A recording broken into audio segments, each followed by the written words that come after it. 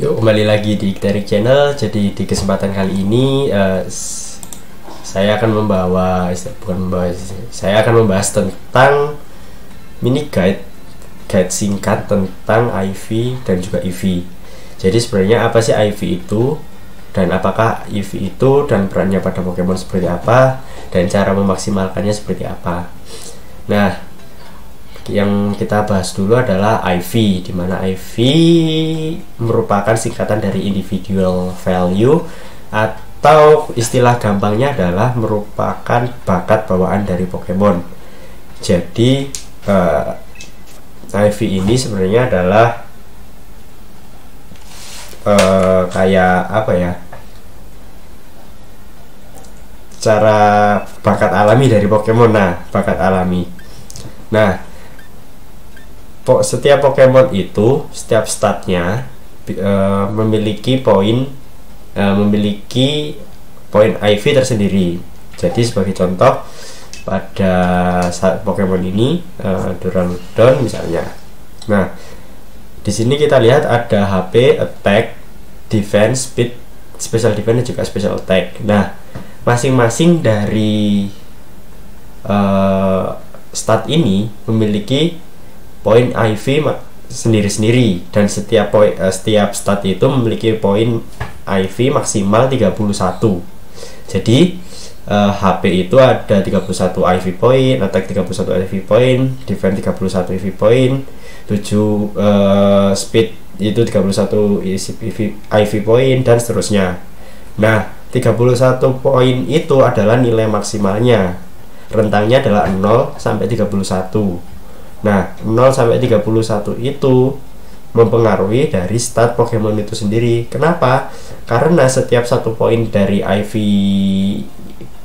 uh, poin dari suatu Pokemon itu mempengaruhi stat pada level uh, menambah satu stat pada level 100-nya.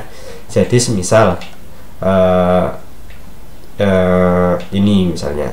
Misalnya ini stat level 100 attack-nya jadi 50 kalau IV-nya 0 Nah kalau misalnya attack uh, eh, IV attacknya penuh maka uh, poin uh, attacknya start attacknya jadi 81 dan itu adalah jumlah yang cukup besar.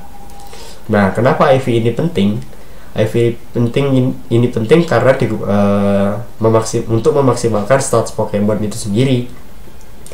Dalam dengan tujuan apa? Satu, misal Pokemon uh, untuk meningkatkan daya tahan Pokemon terhadap suatu serangan. Kedua meningkatkan damage output dari Pokemon tersebut e, pada lawan. Dan ketiga mungkin mempengaruhi dari kecepatan Pokemon itu sendiri. Nah untuk beberapa kasus e, sebagai contoh fungsinya dari IV adalah pada e, tim yang mengandalkan e, move trick room yaitu move yang memungkinkan Pokemon lebih lambat untuk bergerak duluan.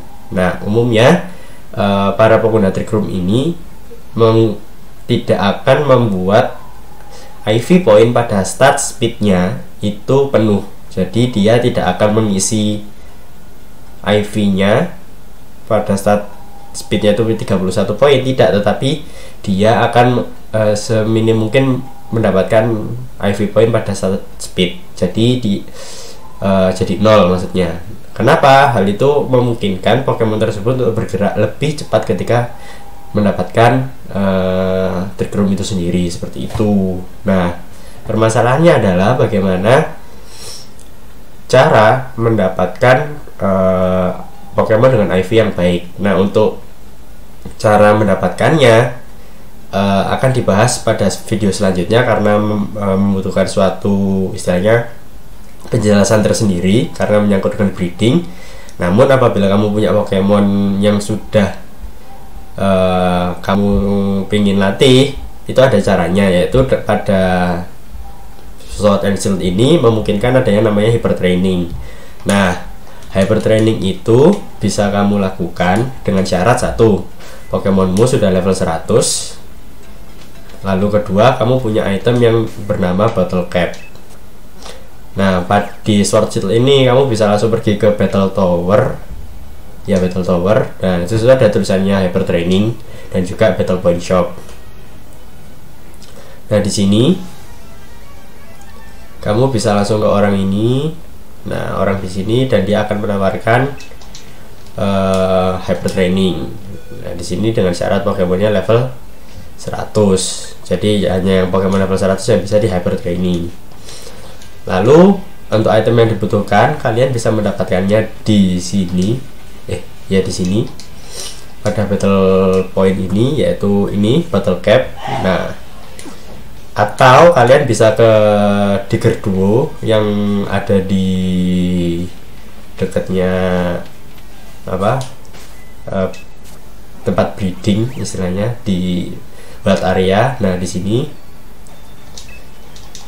untuk mendapatkan apa yang namanya battle battle cap itu sendiri nah battle cap ini fungsinya adalah untuk meningkatkan uh, memaksimalkan sorry memaksimalkan stat dari Pokemon itu. Jadi IV-nya jadi terhitung 31 seperti itu. Nah nah kalian bisa dapat botol cup di sini dengan tanya orang sini. Nanti kalian bisa dapat item ya cukup hoki-hokian sih. Jadi kayak harus invest beberapa watts dulu untuk dapat bottle cap seperti itu lalu selanjutnya yang akan kita bahas adalah EV atau effort values. Nah, sebelum masuk ke apa itu effort values, bisa dilihat di sini ada contoh contoh konkret dari penggunaan effort values itu sendiri. Nah, di sini ada Charizard normal dan Charizard shiny. Nah, yang kanan shiny, yang kiri normal. Nah, di sini bisa dilihat statnya. Kita lihat mulai dari HP lalu ada defense lalu ada special defense. Nah itu poinnya dilihat di situ aja sih sebenarnya. Karena yang lain karena ada perbedaan hal lain yang akan dibahas pada video selanjutnya. Perbedaan nature nature lebih tepatnya nah itu akan dibahas di tempat lain. Nah EV ini apa sih sebenarnya? Jadi EV ini merupakan uh, point reward atas kerja keras dari Pokemonmu. Gampangnya kayak gitu. Karena uh, effort values ini did, uh, didapatkan dengan uh, metode yang sebenarnya cukup banyak. Nah uh, sebelum masuk ke bagaimana cara mendapatkan EV yang baik, uh, cara mendapatkan EV dari Pokemon untuk Pokemonmu, kita, uh, kita akan bahas dulu secara nominal dari EV itu sendiri. Nah, EV EV points itu setiap Pokemon satu Pokemon ini dia itu mendapatkan maksimal poin 510 uh, EV points. Jadi dari total EV point yang bisa didapatkan dia bisa mendapatkan 510 EV point. Nah, permasalahannya adalah setiap start jadi HP attack defense speed special defense dan special attack itu hanya bisa diinvestasikan maksimal 252 EV point. Jadi kalau misalnya kamu ingin memaksimalkan suatu stat, maka hanya dua stat dua stat yang bisa kamu hanya dua stat yang bisa kamu maksimalkan. Misal HP full jadi 252, lalu attack ada 252. Jadi totalnya kan 400 uh, berapa berarti 504 kan nah 504 nah sisa kurang 6 poin nah 6 poinnya itu bisa kamu investkan ke uh, stat yang lain seperti itu. Nah lalu kenapa kok if, uh, effort values ini penting?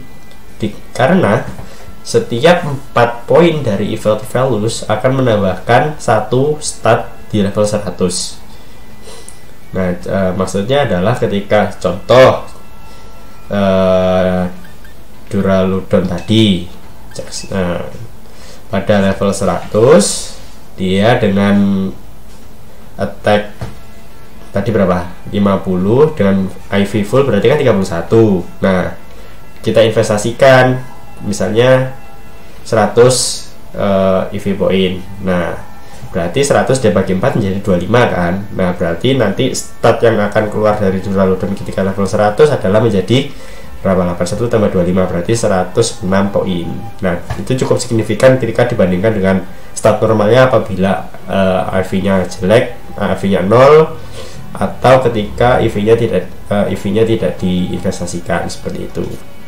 Nah uh, secara menurut ke, uh, pribadi uh, EV itu lebih apa istilahnya lebih fleksibel ketimbang IV karena IV kan rata-rata Pokemon setiap Pokemon dituntut untuk kalau bisa base semua dan mungkin kalau Pokemonnya dipakai buat aku uh, perlakuan khusus kayak Room tadi maka speednya yang dibuat nol. Nah kalau uh, EV ini bisa lebih istilahnya variatif lah. Ya walaupun kalau beberapa default settingnya sih biasanya 25 dua pada dua stat dan empat satu dibuang di satu stat tertentu. Nah sebagai contoh nah ini bisa dilihat. Ini Charizard sama-sama level 100 tapi kita lihat uh, eh, HP nya aja deh. HP nya aja bedanya jauh kan sekitar ya nggak aja 40an lalu kita lihat juga defense-nya. Defense-nya bahkan bahkan bedanya 50an seperti itu. Nah ketika kamu lihat uh, summary-nya. Nah, di sini kamu bisa lihat bahwa Charizard yang ini diinvestasikan full di special attack dan juga speed. Berarti artinya adalah Charizard ini ingin speednya uh, ingin kenceng sekenceng mungkin dengan tujuan supaya bisa mengoutsped istilahnya uh, membuat dia menjadi lebih cepat ketimbang Pokemon lawan dan memberikan damage sebesar mungkin dengan special attack-nya yang dimaksimalkan. Sedangkan pada Charizard yang ini, nah bisa dilihat di sini statnya HP-nya itu uh, dia diinvest ke hit point juga. Sedangkan special attack-nya sedikit, special defense defense-nya banyak dan be uh, beberapa untuk speed. Nah, di sini uh, menunjukkan bahwa Charizard yang ini uh, diharapkan bisa lebih tahan untuk beberapa serangan ketimbang Charizard yang ini walaupun damage yang dihasilkan tidak sebanyak Charizard yang ini. Seperti itu.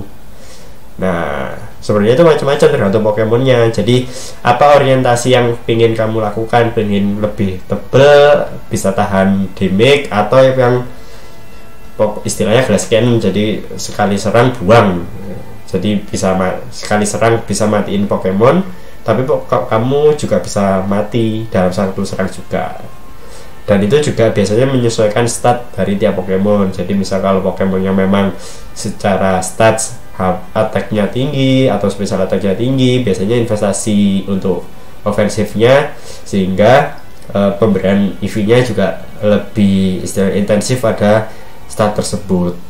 Atau kalau pada Pokemon yang misalnya lebih lebih tebel yang lebih butuh apa sih ya menerima damage ketimbang memberikan damage contohnya kayak Clefairy ini misalnya. Maka investasi yang diperlukan adalah untuk menambah di mungkin di HP atau mungkin di defense atau di special defense Nah untuk speed ini bergantung pada player itu sendiri butuh Pokemonnya cepat atau enggak. Biasanya kalau investasi speed itu pada Pokemon yang emang sudah cepat. Kalau sudah cep kalau Pokemonnya lambat, biasanya di investasinya juga ngapain banyak-banyak kan pada akhirnya juga tetap kalah speed kan kayak gitu mikirnya. Nah untuk sesi selanjutnya adalah bagaimana cara mendapatkan uh, eh, EV itu sendiri. Nah, kita mulai dari cara yang super konvensional saja. Misal, nah, di sini cara yang paling konvensional adalah dengan melawan Pokemon liar. Contoh ini, kita akan melawan Zigzagoon. Nah, nah Zigzagoon ini uh, apabila kalau nggak salah ingat ya uh, EV yieldnya. EV yield itu apa? EV yield itu adalah kalau kamu ngelawan Pokemon itu kamu dapat berapa EV di start apa dan jumlahnya berapa. Nah EV yield dari Pokemon uh, dari Zigzagoon ini adalah uh, speed pada start speed dengan tambahan satu poin. Jadi setiap kali saya mengalahkan Zigzagoon ini maka Pokemon saya akan mendapatkan satu EV point pada start speed seperti itu. Nah dengan istilahnya rajin rajin melakukan training dengan Pokemon liar ini sampai mungkin 252 kali kalau anggapannya mendapatkan satu EV point per battle maka satu uh, satu stat bisa mendapatkan penuh sampai 252 nah permasalahannya kita bisa mempercepat hal ini caranya adalah dengan satu. Bisa dilihat di sini. Ada yang namanya pokeras.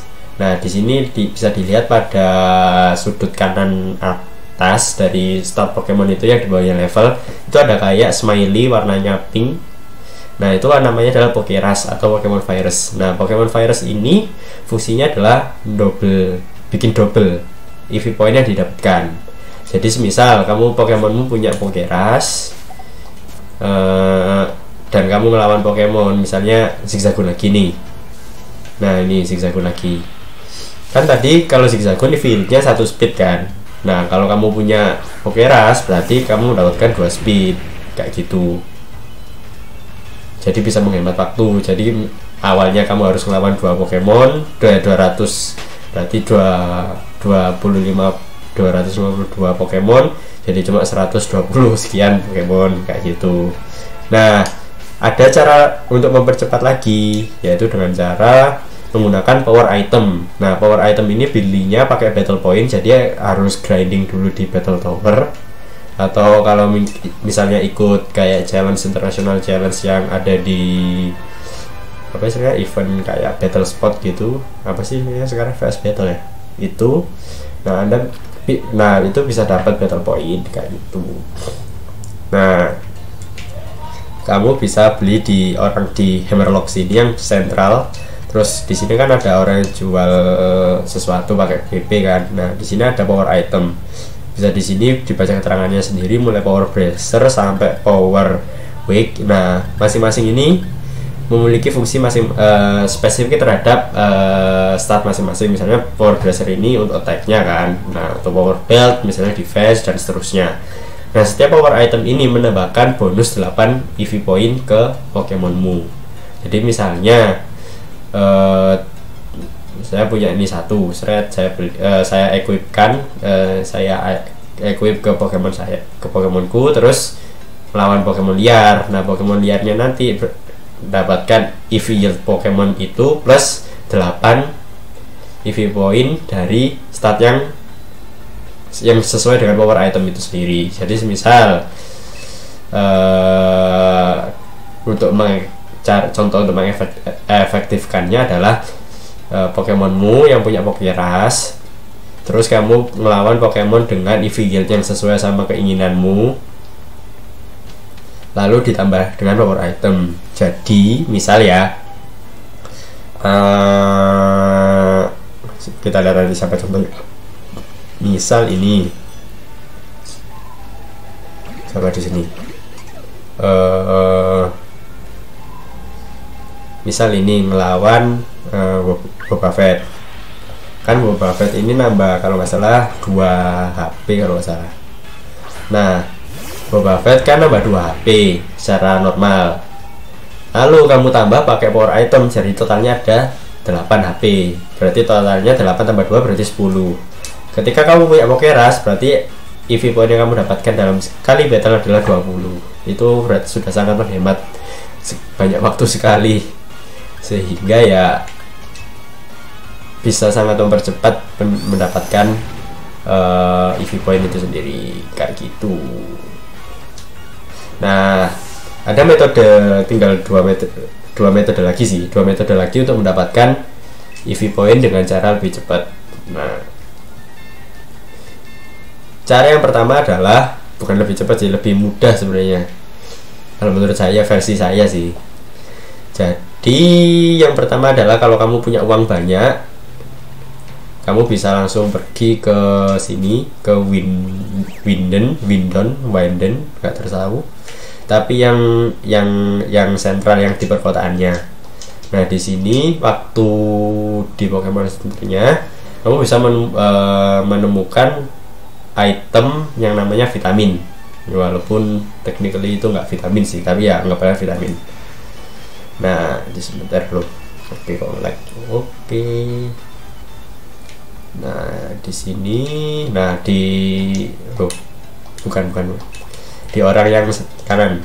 Nah, di sini hampir to buy nah di sini ada vitamin mulai HP up sampai karbos. Nah setiap vitamin ini uh, spesifik uh, stat tertentu nah setiap vitamin ini memberikan investasi 10 EV point ke Pokemon. Jadi uh, pok untuk mendapatkan start penuh pada satu start kamu butuh 26 26 istilahnya 26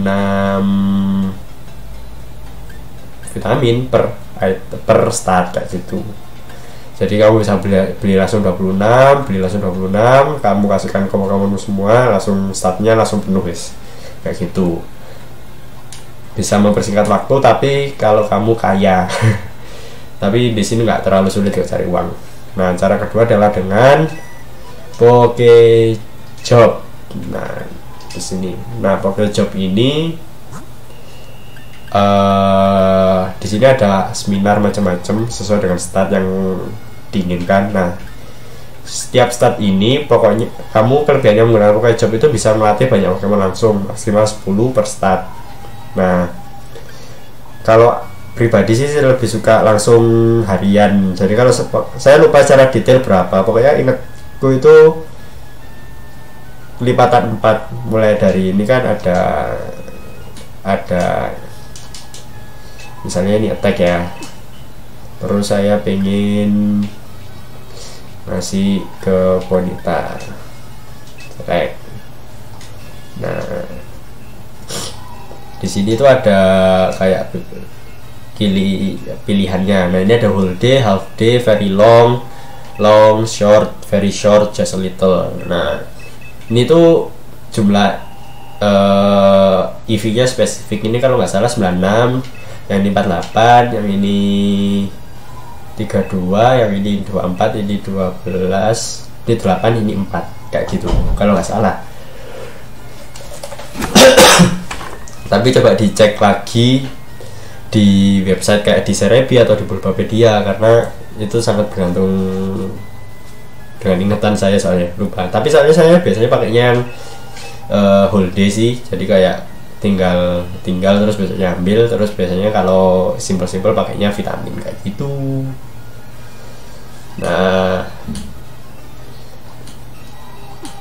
untuk hasilnya juga bisa dilihat di sini kan ada hmm, cari zat ada cari zat lagi nggak ya? Buat bandingan. Ada ingetku level 100 oh ada